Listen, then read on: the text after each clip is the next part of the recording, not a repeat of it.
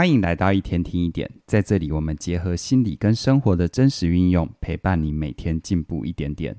如果你每天都想要有所进步的话，就请你一定要订阅我们的频道哦。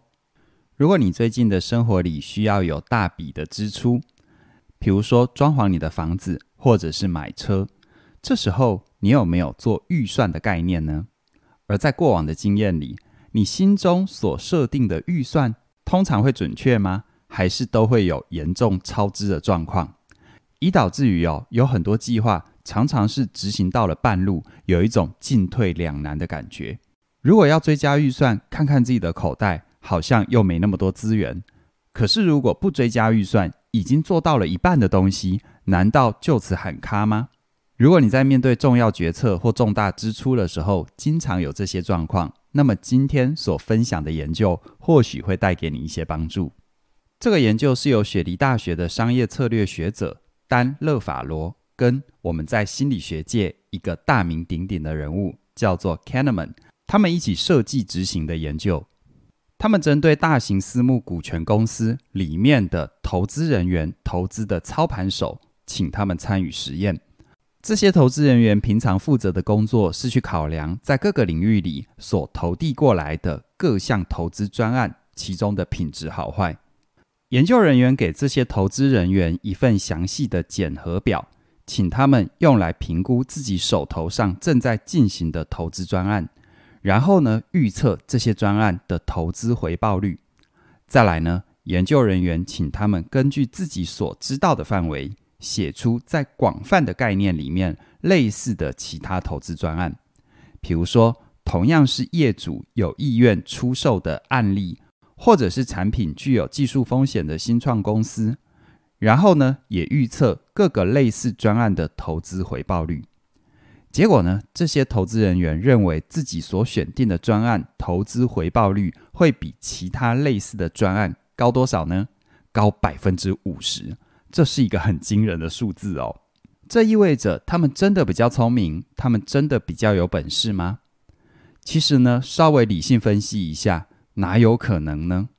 如果自己的专案在大环境的背景底下，跟其他类似领域相去不远。有什么理由，你所选择执行的方案的投资报酬率就会比别人高一半呢？这显然是一个思维上面的偏误。而在心理学里，后续有很多研究也反复的证明一件事，那就是哦，一个人知道越多的内部细节，他做的判断反而会越极端。什么是内部细节呢？就像是这个研究，他先让这些投资人员写一份详细的检核表。而检核的部分完全是自己专案的部分啊！当你对于自己手上的专案钻研的越深，你就会有一种迷之自信，觉得自己所选择的一定会超越常态以外。你越是对自己的专案了若指掌，你就会完全忽略失败的可能，你会相信自己一定会成功。可是呢，这个研究也有后续，后续呢，实验人员引导这些投资者。把他们的焦点转向其他人更广泛的部分，而且深入理解更广泛的投资层面。于是呢，他们这时候才开始调整自己的乐观预期。其实这不只是在机构或个人的投资行为有这样的倾向，在公共建设里面也有同样的呼应啊。牛津大学的商学院学者傅以斌他就指出，全球大概有九成以上的重大基础建设。它的执行状况是超支的，而超支的范围平均超过百分之二十八，这很惊人呐。而其中部分的原因在于管理人员着重于案子的细节，他一头栽进去，完全没有抬头，于是就造成了过度乐观的结果。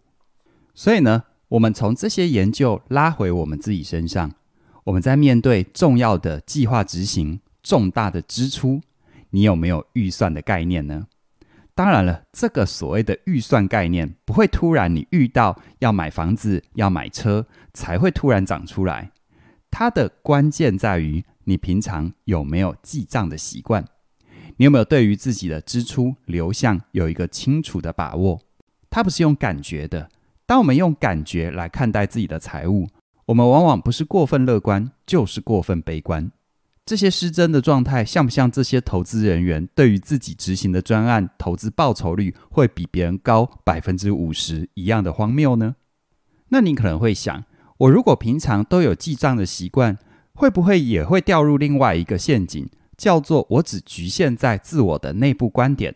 我是很清楚知道自己赚多少、花多少，每一分钱的流向。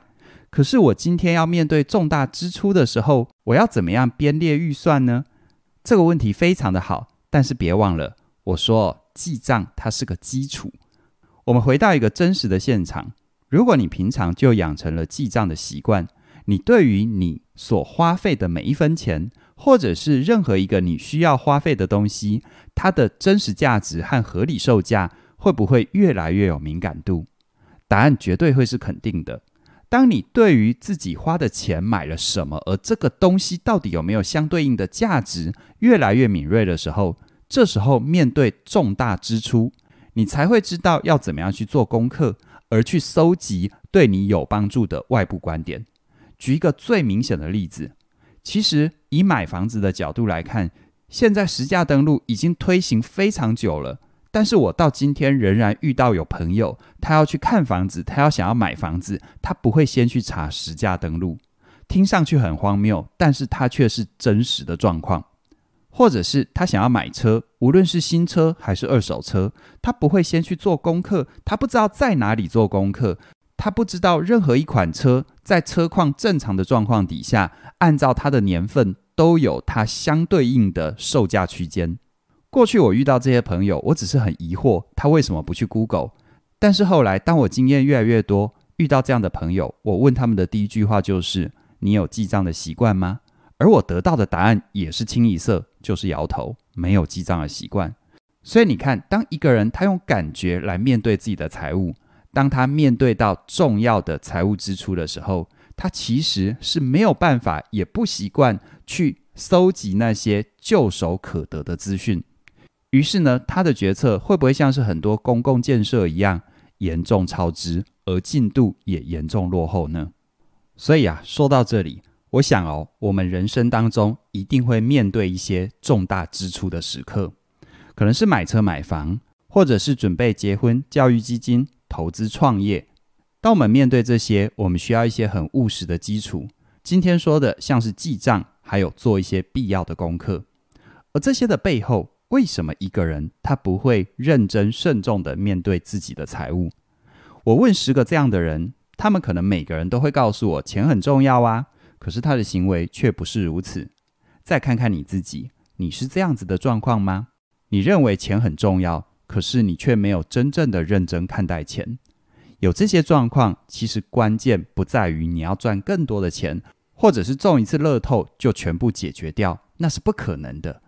如果你没有准备好，现在突如其来的一大笔钱会造成你生命的灾难，而不是祝福哦。所以呢，我在这边特别跟你分享一门线上课程《理财心理学》。在这门线上课程里，嘉玲老师除了会一步一步的带你建立起预算、记账这些概念之外，更重要的一点是，他会透过心理学的方法陪伴你去还原自己的金钱信念到底是怎么来的。并且从中找到适合你的调整，让你开始跟钱的关系真正的变好。想想看，在我们交友的过程当中，你说你跟一个人关系很好，你应该不会十天半个月不去看他，不跟他见面吧？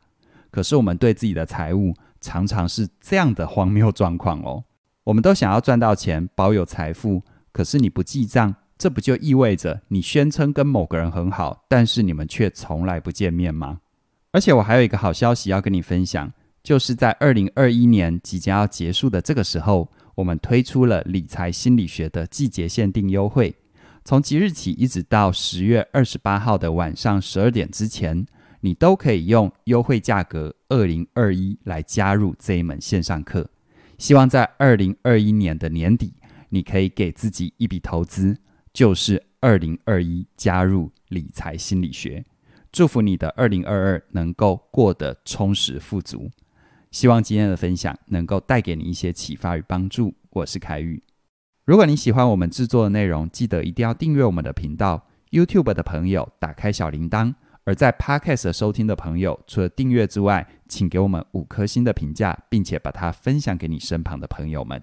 我们需要你用行动来支持我们。然而，如果你对于起点文化的商品或课程有兴趣的话，再次呼吁哦，我们这一次理财心理学的季节限定优惠二零二一元，它的截止日期是十月二十八号的晚上十二点之前。期待你能够把握这难得的机会。相关的课程资讯在我们的影片说明里都有连结，期待你的加入，让我们一起迎向更富足的二零二二。那么今天就跟你聊到这边了，谢谢你的收听，我们再会。